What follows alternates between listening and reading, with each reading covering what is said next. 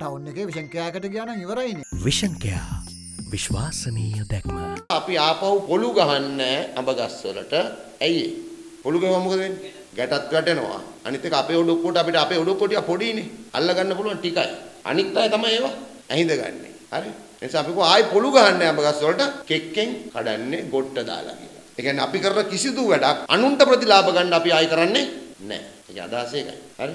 ඒ කියන්නේ අපේ කුඩේටම අපි ඒවා දාගන්න විදියට තමයි දැන් දැන් අපි ආවට කියලා පොළු ගහන්නේ නැහැ. පැහිච්ච ගෙඩිය ආ මොකද්ද බැඳුම් කරේ පැහිච්ච ගෙඩියන්නේ හොඳ. ඒක කඩලා ගත්තා. හරියට. ඔහේ වෙනුවේ නැහැ. ඉතින් දැන් මේ ජනමාධ්‍ය ආරම්භයේ හුඟක් අය අපිට කියන දැන් ජේපීක ඉස්සර වගේ පාරේ නටන්නේ එහෙම අඩුයි. ඈ ඇත්ත.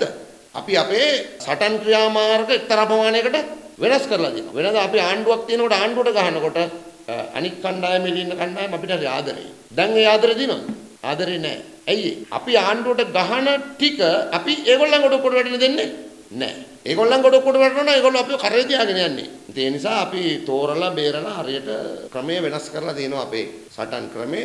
දැන් අපි පහුගිය කාලේ මහින්ද මහත්තයාගේ ආණ්ඩුවට ගහගෙන ගහගෙන යනකොට UMP එක අපේ කරේනේ. අපිට හරි ආදරේ ඒගොල්ලෝ. ඇයි ඒගොල්ලන්ට පුළුවන් අපි මහින්දගේ ආණ්ඩුවට පොළු ගහද්දි ගෙඩි ගොඩක් අහුල ගන්න. දැන් මහින්ද මහත්තයා කැමති අපි ආවට ගියාට මේකට පොළු ගහනවා. ඒ මොකටද? ඒගොල්ලන්ට ඒ ගෙඩි ටික ඇහිඳ ගන්න. දැන් අපි ඒගොල්ලන්ට ඇහිඳ ගන්න නැති වෙන්න තමයි ගෙඩි කඩන්නේ.